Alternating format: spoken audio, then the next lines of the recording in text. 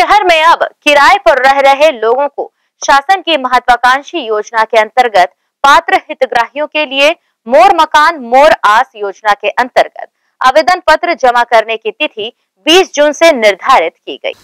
दुर्ग नगर पालिक निगम क्षेत्र अंतर्गत प्रधानमंत्री आवास योजना सबके लिए आवास मिशन शहरी स्लम, गैर स्लम में किराए के आवास गृह में निवासरत पात्र हितग्राहियों के लिए मोर मकान, मोर आवास योजना अंतर्गत आवेदन पत्र जारी किया जा रहा है, जिसके लिए आवेदन पत्र मुख्यमंत्री, वार्ड कार्यालय, उर्ला, बोरसी आदित्य नगर तथा गौरवपथ स्थित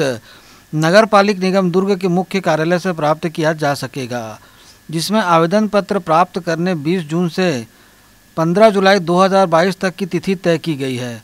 जिसका शुल्क सौ रुपये निर्धारित किया गया है। इसके लिए हितग्राहियों को आधार कार्ड एवं मोबाइल नंबर की ज़रूरत पड़ेगी। गौरतलब है कि निर्माणाधीन 1226 आवासों में प्रोजेक्ट के लागत राशि में वृद्धि होने पर प्रति आवास हितग्राही अंशदान की राशि में भी वृद्धि की जाएगी, जिसके लिए हितग्राहियों से समान रूप से आधिपत्य से पूर्व जमा कराना अनिवार्य होगा। इस पर महापौर धीरज बागलीवाल ने कहा कि आवास योजना का लाभ लोगों को मिले हितग्राही मकान के लिए, स्थलों में पहुंचकर अपना आवेदन कर सकते हैं। ग्रैंड एशियन न्यूज़ के लिए दुर्ग से नसीम फारूकी की रिपोर्ट।